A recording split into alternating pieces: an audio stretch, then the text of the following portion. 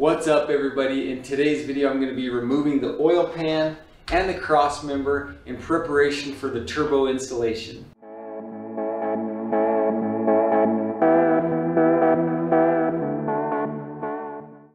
So the first thing, in order to get the cross member and the oil pan off, I needed a way to suspend the engine. Most people use like an engine hoist or something, but I don't have one.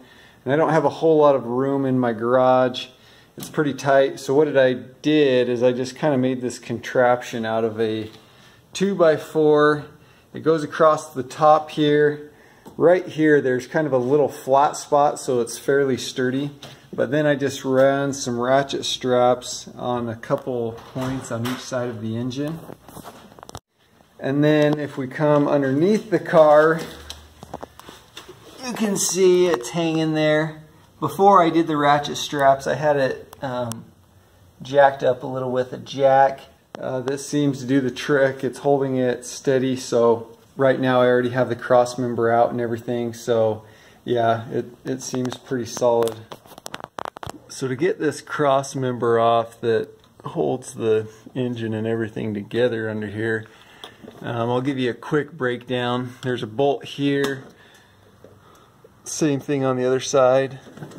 Underneath here you can see there's a nut right here and then there's one just on the back of it. So there's two there. On the motor mounts you have to unhook those on this side, the driver's side. There's three over here on the passenger side. I don't know if I can get it, but there's two up there. And also, there's a couple little bolts holding these like hydraulic lines on. You just undo those, so that's pretty easy. And then this is the driver side, but you'll have to do the same thing on the passenger side also. There's a band that goes from this cross member and it wraps over top the uh, steering rack there's a bolt on each side. You have to get those off. And um, so it's pretty loose now. Uh, so now I think it's just a matter of wiggling it around. It looks like maybe I'll have to try to take those motor mounts all the way off to get it out. We'll see. So there it is off. It wasn't too difficult. There's a number of bolts, but really they came out pretty easy.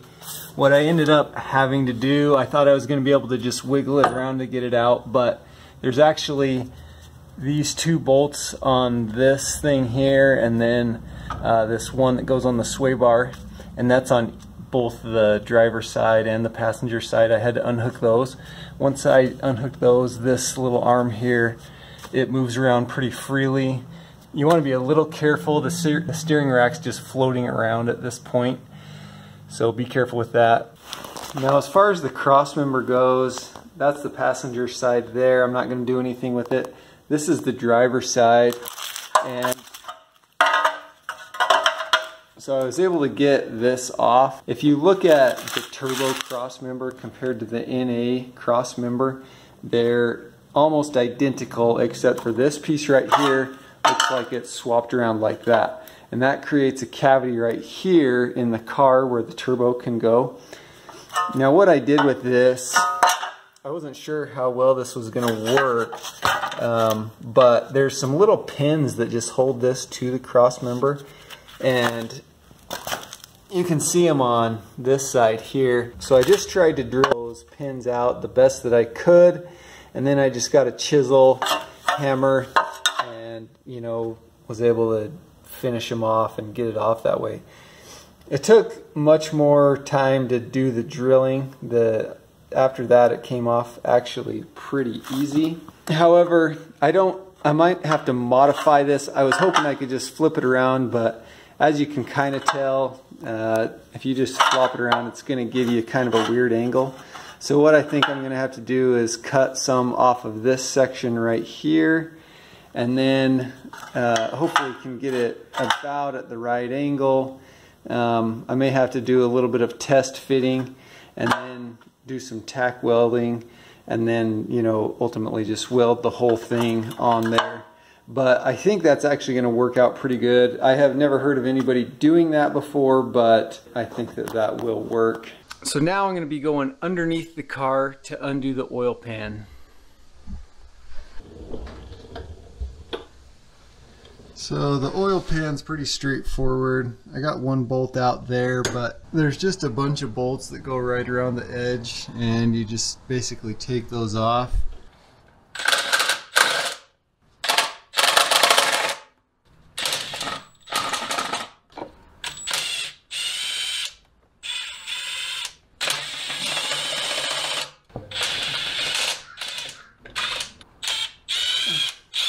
So I did have to get a screwdriver and kind of pry on the uh, oil pan just a little bit, but it came loose and now it's just a matter of trying to get this thing out of here.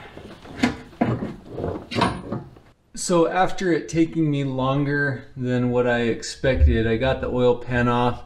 Um, I had to do a lot of wiggling now most of this stuff was already unhooked when I took the cross member off, but uh, this ball joint right here, I did have to unhook that. As you can see, the steering rack, by taking that ball joint out, I was able to just drop one side and it just gave me enough um, space to just kind of wiggle that thing out. So that's all I'm to be getting done in today's video. The next video I'm going to be drilling the hole for the oil line, the oil return line on the turbo. And then once I get that reinstalled, I'll have to work on getting this cross member figured out, uh, being able to do something with that. If you want to see those other videos, just hit my subscribe button. That also helps me out. And as always, thanks for watching.